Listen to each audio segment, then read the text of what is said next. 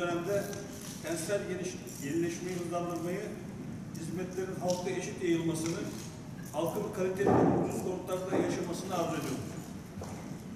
Deprem gerçeği hepimizin malumu.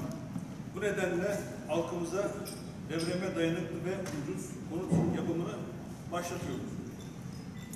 Halkımız her şeyin en iyisine layıktır.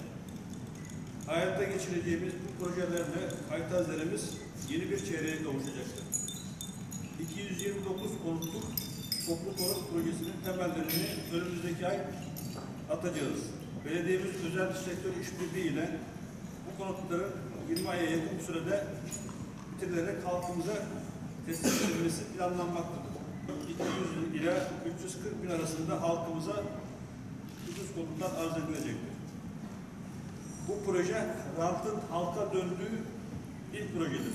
Altını çiziyorum. Bu proje rantın halka döndüğü ilk projedir. Bu anlamda belediye meclislerimize bu konuda desteklerinden dolayı teşekkür ediyorum.